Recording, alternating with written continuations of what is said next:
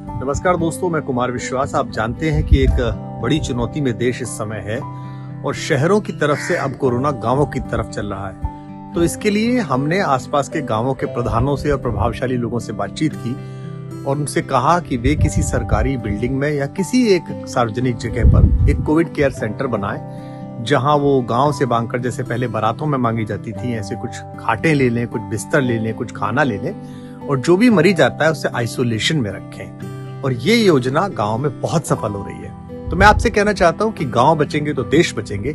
आप भी अपने यहाँ इसी तरह प्रयोग करिए। अब आप पूछेंगे कोविड केयर सेंटर में होता क्या है? चलिए आपको कोविड केयर सेंटर दिखाते हैं। डॉक्टर कुमार विश्वास जी ने जो पहल चलाई है कोविड नाइन्टीन के चलते हुए, उसके लिए हमारा छोटा सा ये कोविड सेंटर है।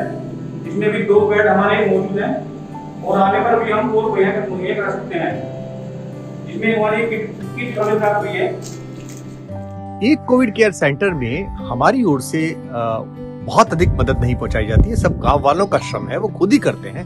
उनके पास जो नहीं होता है, वो होती है दवाइयाँ। वो होता है ऑक्सीजन कंसेंट्रेटर वो होती है टेम्परेचर नापने के थर्मामीटर वो होता है ऑक्सीमीटर्स और वो होता है कि कोरोना में करें क्या, खुद को सुरक्षित कैसे रखें। तो इसका एक अनुदेश पत्र जिसमें सारे निर्देश एम्स के द्वारा दिए हुए रखे हुए हैं। साथ में एक दवाइयों का किट, जिसमें मास्क है, जिसमें सैनिटाइजर है, जिसमें थर्मामीटर है, जिसमें ऑक्सीमीटर है, और जिसमें एम्स द्वारा प्रस्तावित प्रिस्क्राइब्ड मेडिकेशन है।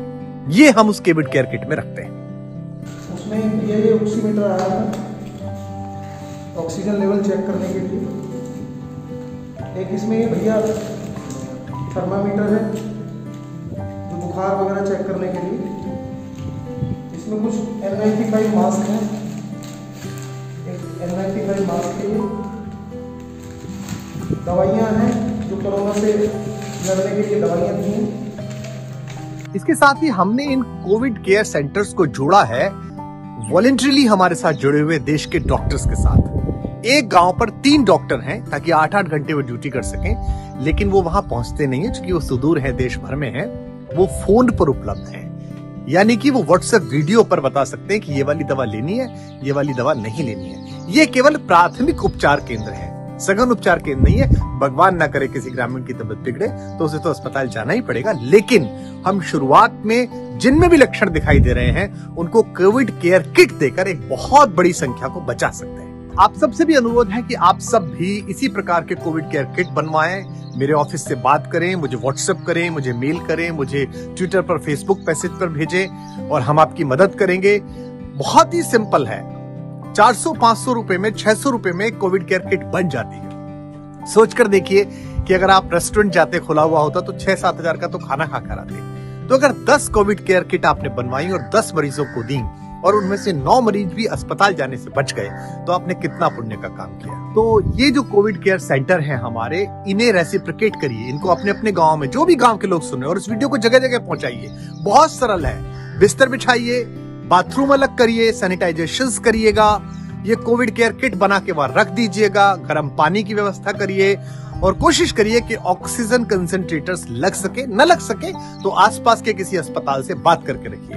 हमने यहाँ जहाँ भी कोविड केयर सेंटर बनाए हैं, वहाँ सरकार से प्रार्थना की है, यहाँ के बिजली विभाग से प्रार्थना की है कि कम से कम इन जगहों को स्वास्थ्य केंद्र मानकर अगले कुछ महीनों तक इनकी लाइट्स जो है, वो निर्बाध की जाए। इन्वर्टर व्यवस्था जनरेटर व्यवस्था लाइट की चौबीस घंटे व्यवस्था मिलेगी डॉक्टर कुमार विश्वास जी ने हमें oxygen concentrator provide machine provide की है जिससे कि हम ईश्वर नागरे ऑक्सीजन की पेशेंट को ऑक्सीजन की ज़रूरत पड़ने लगे तो हम उन्हें तुरंत के तुरंत ऑक्सीजन प्रदान कर सके। मैं कोई सरकार नहीं हूँ नेता मंत्री, विधायक, सांसद अफसर नहीं हूँ, एक सामान्य कवि हूँ, आपका बनाया हुआ हूँ, इसलिए मैंने खुद से कोशिश की है, खुद से मैंने ये प्रयास किया है अपने साथियों के साथ मिलकर, अपने ऑफ़िस के लोगों के साथ मिलकर, अपने चाहने वालों के साथ मिलकर, किसी ने पैरासीटामोल भेजी है, किसी ने मास्क भेजे हैं, किसी ने सैनिटाइजर भेजे हैं, उन सबका शुक्रिया। आप भी अगर कुछ भेजना चाहते हैं तो ज़रूर भेजिएगा, नहीं तो आप खुद कोविड केयर किट बनाइएगा और उन्हें जगह जगह भेज दीजिएगा। मैं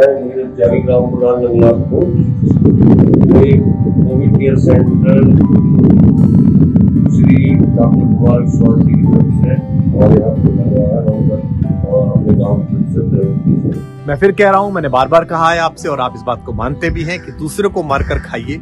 ये विकृति है आप अपना खाएँ मैं अपना खाऊं। ये प्रकृति है लेकिन मैं आपकी चिंता करके खाऊं।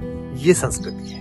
अगर आप जरा से भी सांस्कृतिक हैं जरा से भी कल्चर्ड हैं आपको लगता है कि आप पढ़े लिखे हैं तो प्लीज़ गाँव को बचाइए गाँव बचेंगे तो देश बचेगा। जो कुमार विश्वास जी ने हाँ, कोरोना पीड़ित लोगों के लिए जो दवाई का सिस्टम शुरू करा उसके लिए हमने कोविड सेंटर बनाया है। जो कुमार विश्वास जी ने दवाई उपलब्ध कराई है वो दवाई हमारे पास आ गई है और ऑक्सीजन मशीन जो उपलब्ध कराई है वो भी आ गई है। इस बात को बार बार दोहराने से कोई फ़ायदा नहीं कि व्यवस्थाओं ने हमें धोखा दिया है। वे चूक गई हैं। किसी भी प्रकार की पॉलिटिकल पार्टी या किसी भी नेता के प्रिय या उसके बहुत ही अधिक अनुयायी होने के बाद भी आप ये बात स्वीकार कीजिए कि देश इस समय स्वयं सेवा के भरोसे खड़ा हुआ है और आप सबको उसके लिए स्वयं सेवा के प्रति स्वयं सेवक बनना पड़ेगा। एक दूसरे की सहायता करिए। यही हिंदुस्तान है, यही भारत है।